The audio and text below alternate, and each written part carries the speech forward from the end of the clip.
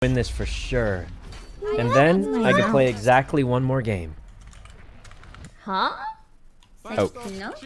Well, uh, I mean,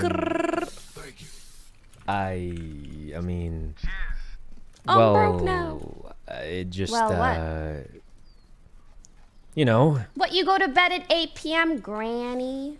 no, but one of my friends has the.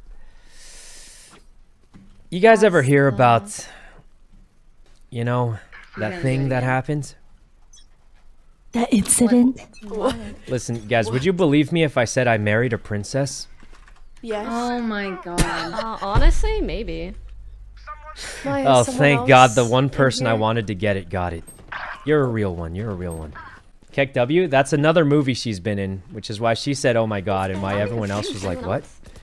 Well, I'm confused. I Married a Princess is an uh, is a TV show I did when I was seven years old. A reality There's a TV weirdo show with a shorty that in my garage. stepmom made me do.